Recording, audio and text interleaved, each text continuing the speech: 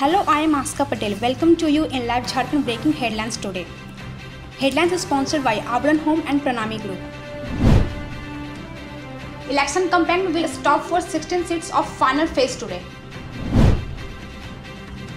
Congress General Secretary Priyanka Gandhi, JP Nadda and others will address public rallies in Jharkhand.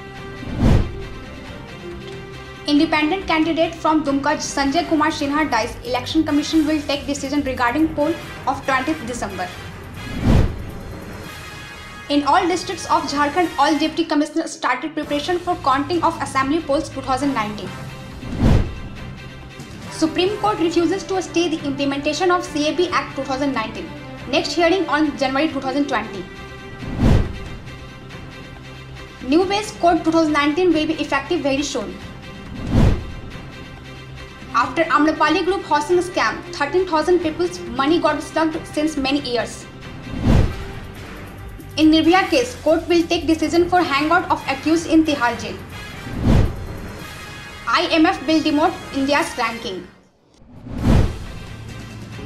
JSCA holds a special AGM on 23rd December in Bokaro. CBSE 10th and 12th board exam schedule announced.